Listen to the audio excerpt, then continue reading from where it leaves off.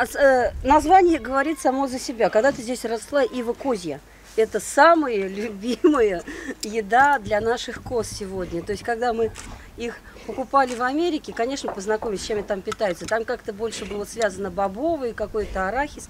Но вот первое, что понравилось, здесь ива козья больше, чем клевер и так далее. А хотели сначала все это вырубать. Нельзя это вырубать. Да, видите, пригодилось.